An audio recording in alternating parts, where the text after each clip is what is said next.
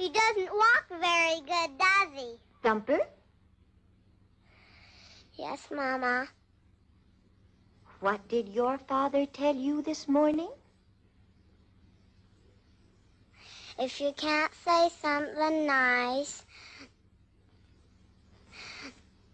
don't say nothing at all.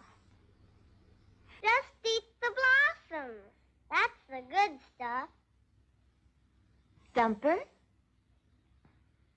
Yes, Mama. what did your father tell you About what?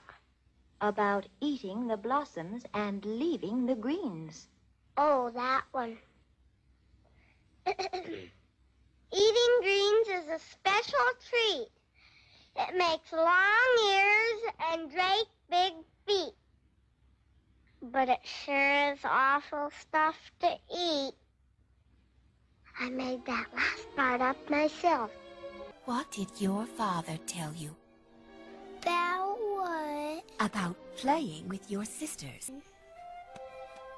A family that plays together, um, stays together. Even if it means taking your dumb sisters.